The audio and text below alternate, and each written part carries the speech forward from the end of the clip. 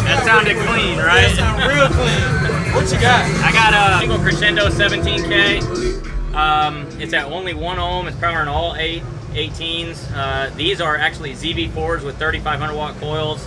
Uh, I eliminated my head unit and I just run the uh, the VU DIN uh, Steve Meade meter to, to meter output.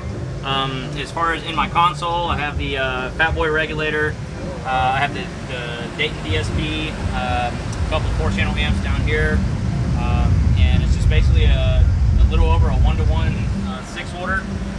Uh, I got about four and a half cubes per sub on the bottom, and uh, maybe like a little over five cubes on the top per sub, and uh, and that's it. It jams. Man, that thing hits clean. You like that, right? Yeah, I really do like it. Yeah. It's, it's, it's really nice, really nice. Yeah, I can either uh, run it off my phone or I can run it off my tablet. Yeah. You know, and uh, I haven't made it yet, but I'm gonna Got like put a, a slide, yeah, side slider or something. yeah. I'm like gonna put a, uh, a little little deal here where I can slide it in and I can do my GPS and because believe it or not, this was my work truck. Really? I know. Okay. But yeah, I built everything in it. Everything you see here. Oh, yeah. uh, I just built this console about a month ago. Mhm. Um, you know, I got a power switch right here. Just turns the whole system off.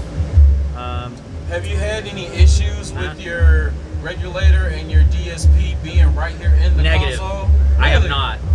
I have not. I haven't had any. you say you got issue. four channels under here too, right? I have two four channels under here, but uh, being a daily driver, like I'm not demoing it constantly, so Right. uh, you know I might turn it up like 30, 40 seconds here and there, but Right.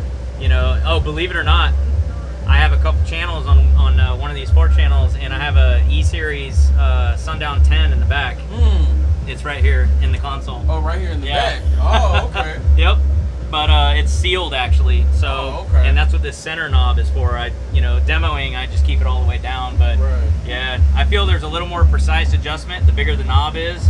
So you know, you make a little tweak right here, and all of a sudden it's way up. But a bigger knob, you can make a little tweak, and it's less of an angle. You know what I'm saying? right, right. So I run the bigger knobs. I like that.